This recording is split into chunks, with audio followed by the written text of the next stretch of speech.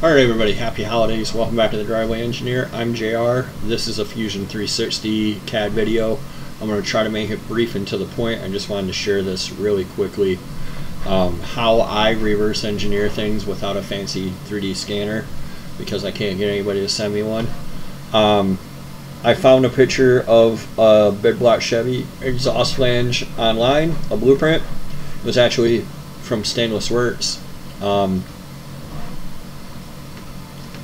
so I downloaded that image in Fusion 360 on my sketch tab.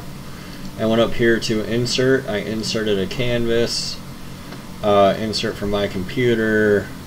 This is a screenshot. So I inserted that screenshot there. I want to cancel. I want to cancel. Um, it came in really, really small. So what I did was I drew a line for the overall length and then I measured what that overall length was. It was like 0.440. I checked this over here.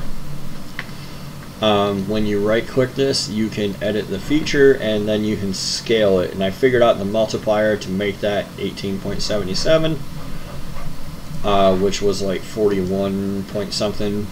Um, and now I'm just going through and tracing this. That's that's all you have to do. And you get a sanity check because we know that the ports of a big block Chevy are 1.75 inches. So we just go in here and this is a nice drawing. Kind of do the best we can to line it up. We'll type point, oops, 0.413. We create our circle. We rinse and repeat again and again. Point four or 413 promise I haven't drank that much today. Um, again, this is easy. Tracing the outline will be harder. Uh, but, you know, I'll manage.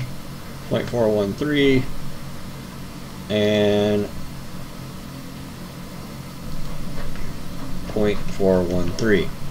So now I can, for funsies, just take a line from here to here and it gives me 3.483 so I'm off by 10 thousandths significant in machining. Um, maybe not enough to matter. I'll print this flange put it up on the head and see if I need to adjust and go from there.